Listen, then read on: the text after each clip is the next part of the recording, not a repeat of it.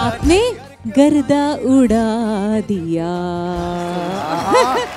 भारत का अमृत कलश हर शनिवार और रविवार शाम सात बजे सिर्फ़ डीडी नेशनल पर। देश का पहला चैनल देश का अपना चैनल।